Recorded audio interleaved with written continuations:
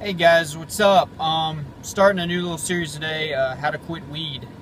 Um, I only smoked weed a couple times, you know. Um, I did it whenever I was really drunk, but um, you know, I understand that there's people that uh, you know they do it all the time, and it's a serious issue for them. Um, and there's people out there who want to quit. I know there's a huge, you know, debate whether it's healthy or if it's not healthy or it should be legal or illegal.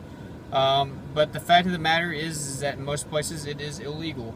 Um, so I mean, you're going to run into a risk if you're wanting to be a marijuana smoker, and you know you're still inhaling chemicals and you're still inhaling smoke. Um, maybe it's not as potent as cigarettes or maybe alcohol, but it still isn't something that you want to be addicted to, you know, for the rest of your life. Also, can make a dent to your finances. So how to quit smoking weed. Uh, the first video, and the first video I always give for how to quitting uh, substance or a habit or addiction. Um, you have to want to quit. You have to have the desire to quit.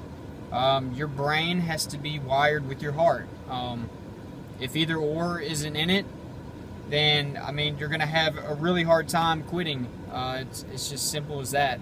It's going to be hard to quit if, if your, your heart wants to, but your, your head doesn't you know, and you're not using your mind to control your feelings. I mean, you, you got to have everything on the same page. So that's that's one of the things that you need to do is to make sure your heart and your brain, your head, are wired together whenever you're going to quit because you need both of them to quit a hardcore addiction.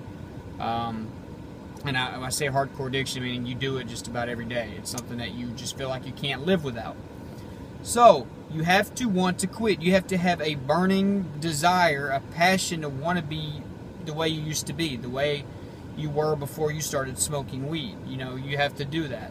Um, weed is just something, you know, it's a feel good in the moment kind of thing, but, you know, over time, it, just, it, it turns into a habit, an addiction, something that you have to have, something that you want to have to function, you know.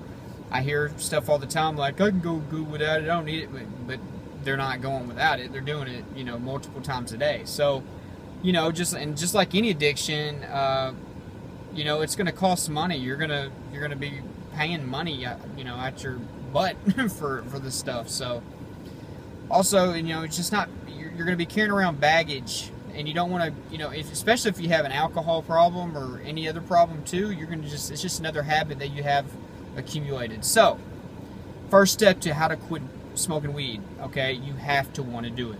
All right, that's my first step. Uh, stay tuned for the next video. Um, I'll have that out today.